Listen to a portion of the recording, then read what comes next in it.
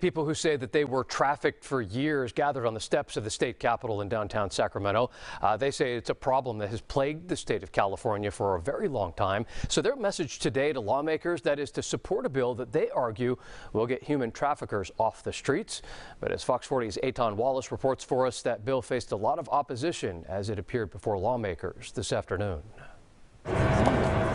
For Odessa Perkins, just walking on the sidewalk brings up traumatic memories from her childhood in Bakersfield. I was a very little girl. I should have been playing with Barbie dolls. But instead of doing that, she says she experienced years of sex trafficking. When I first started being touched, I was about four or five. I was penetrated between six and seven, maybe eight years old. It's hard to remember, it was so long ago.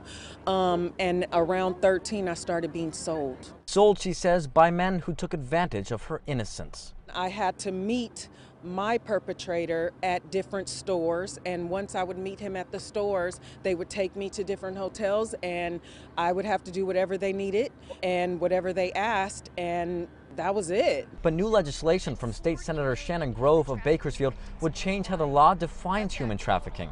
Senate Bill 1042, as it's called, would define human trafficking as a serious and violent felony and would include it as a strike under the California Three Strikes Law.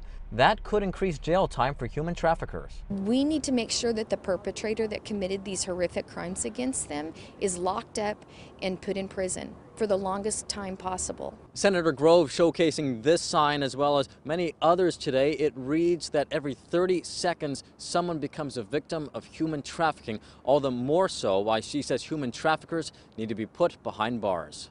Her bill was co-authored by Democratic State Senator Susan Rubio. Please go ahead. But in the end, the legislation did not receive the majority support it needed to pass in the Senate Public Safety Committee this afternoon, with some arguing increased jail time is not the answer. They're not being trafficked because the sentence isn't harsh enough.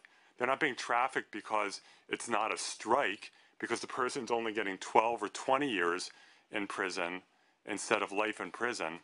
They're getting trafficked because what society has done to them. Perkins is hopeful the bill will come up again in future legislative sessions. We have a voice and we shall be heard. A voice she says she'll continue using to speak out against human trafficking. At the Capitol, Eytan Wallace, Fox 40 News.